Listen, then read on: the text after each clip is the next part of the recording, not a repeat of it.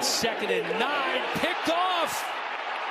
Donte Jackson made some big plays so far, but this is biggest yet. Quick slant, Thomas breaks one. They take him into the end zone with Peterson on his back.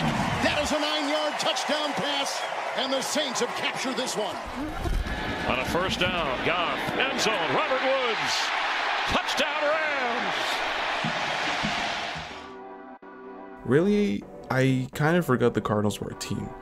I know it's kind of interesting to say it that way, but I was really expecting them to be pretty decent last year, which is why I'm surprised they went 5 10 and 1.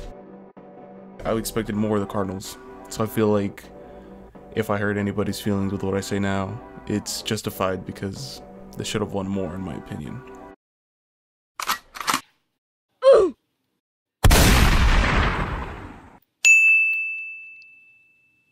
Looking at the Cardinals team, they look really good. They look really set to do big things coming in this 2020 season if we are able to play.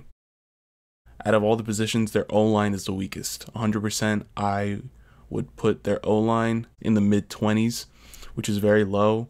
It's a really bad line. Now, going on the other side of the football, their defensive line as well needs a little beef. I know with the additions of Isaiah Simmons, their linebacker corps will look a lot better, but I would like to have a solid set middle linebacker, someone in the mic being able to call all the plays, taking control of the field. That's what I want to see them acquire. I feel like Isaiah Simmons would be really good at that, but I don't think that's how they're going to use him. They're going to use him to what he does best, and he's good at a lot of things. He'll go on corner, he'll go on safety, he'll go linebacker, he'll blitz. So I feel like if you get a set middle linebacker on the headset, this defense will be looking a lot better. One thing that scares me about this team is is age. Age. Age is gonna kill this team. They have young talent, yes, but they also have solid older talent. Veteran presences. The main one being Larry Fitzgerald. Larry is 36, turning 37 soon and I give Larry three years. I give him till he's 39, and that's pushing it because I the last thing I want to see is Larry Fitzgerald getting hurt because he's been such a solid, great, amazing wide receiver. Now looking at the young talent, of course you have offensive rookie of the year Kyler Murray. Kyler Murray to me is on the path to greatness. He isn't elite. He is on the path to becoming amazing, though. If Kyler Murray stays on this path that he's on, I wouldn't be surprised if I see him surpass Lamar Jackson in quarterback rankings in a couple years.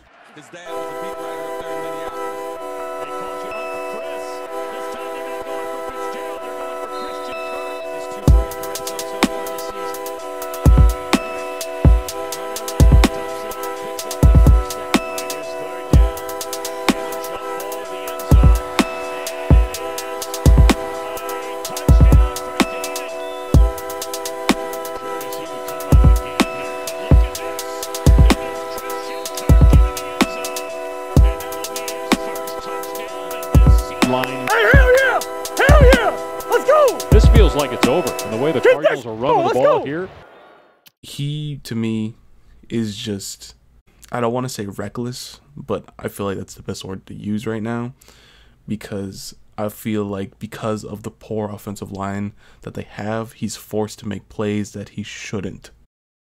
I know in our recent video for the NFC West, I didn't have the Cardinals doing so well. I had them going, I believe, third in the division, which I still stand by.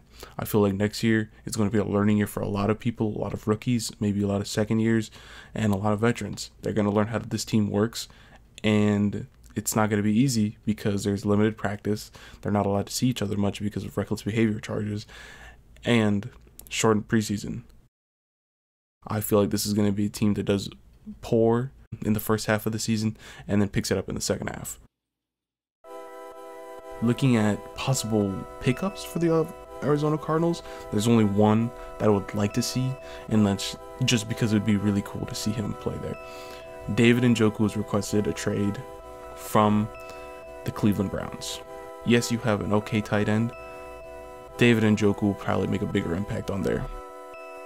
Then your receiving corps would be Larry Fitzgerald, Christian Kirk, DeAndre Hopkins, and David Njoku.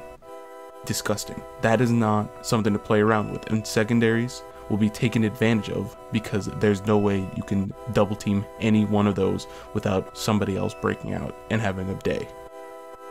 That's really it. The Arizona Cardinals will be doing amazing things in the years to come. As soon as you address positions of need and help Kyler Murray, it's it's easy.